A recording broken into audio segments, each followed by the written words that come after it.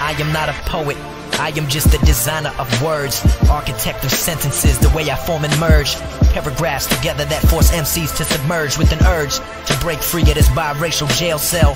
Feast on my memories, please come and taste this. Papa was a black man, mama was a racist. Growing up, she called me kids call me cracker, while the whites got whiter and the blacks got blacker. I was hurting, doing everything I can.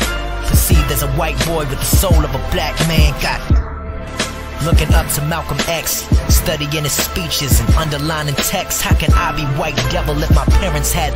Cause I'm black, Cause I'm black and I'm white, and I'm white, and I'm proud of every word that I recite. That I, recite. I know my roots, know my roots. I know my past. past. I know the issue of my race ain't gonna last. last. We all breathe the same air and bleed the same blood, and when we die, the same ditch gets dug.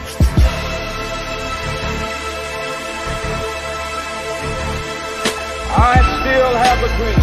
It is a dream deeply rooted in the American dream. That one day, this nation will rise up, live out the true meaning of its creed. We hold these truths to be self-evident that all men are created equal.